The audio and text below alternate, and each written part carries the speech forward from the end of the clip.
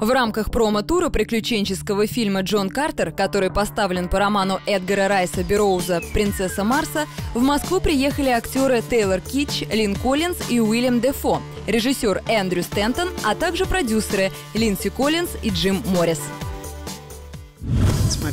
Это мой первый визит в Москву. Мне здесь очень нравится. Правда, я в Москве всего полтора дня, и я мало что видел.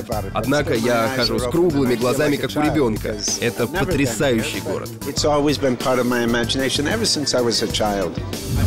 Мне жаль, что я приехал в Москву только сейчас. Дело в том, что моя жена говорит по-русски. Она жила в Санкт-Петербурге в 80-е годы. Она часто мне рассказывала о России, но я смог приехать сюда только сейчас. Действие фильма разворачивается на планете Барсум. Когда-то Барсум процветал, однако годы конфликтов между представителями разных рас практически стерли цивилизацию с лица планеты. Принцесса Дея Торис пытается найти более или менее дипломатичный способ прекращения войны, чтобы спасти любимую планету. Сначала я думал, что самый сложный момент — это съемки. Но потом я на протяжении полутора лет занимался постпродакшеном фильма. В этой картине было больше анимации, чем в ленте «В поисках Немо». Увидев тебя, я поверил, что в нашем мире может появиться нечто новое. Ты Джон Картер Земли? Да, мэм. В этой картине я снимался с номинантами на премию «Оскар». Это был незабываемый опыт. В этой картине я с головой погрузился в образ и был частью невероятной истории. Я счастлив, что работал с такой великолепной командой.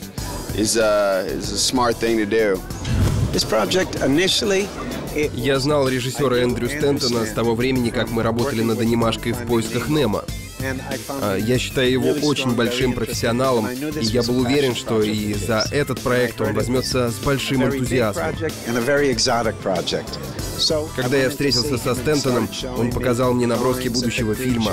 Я очень заинтересовался этой историей. И мне очень понравился персонаж, Тарс Таркас. И поскольку раньше я никогда не снимался в картинах, где использовалась технология motion capture, то я решил воспользоваться таким шансом и принять участие в картине. Что здесь случилось? Новый правитель грозится уничтожить город. Это не похоже на честный бой. Ты уродлив, но ты прекрасен. Он будет сражаться за нас!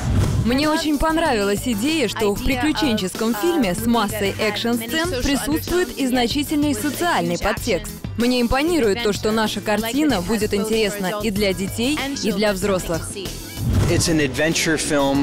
Джон Картер — это приключенческий фильм. Это история о герое, которому придется многое преодолеть. Это грандиозный эпический фильм, в котором много самых разных удивительных персонажей. Много экшена, драк. Это развлекательное кино для зрителей всех возрастов. И я надеюсь, что наша лента им понравится. Приключенческий блокбастер «Джон Картер» в прокате с 8 марта.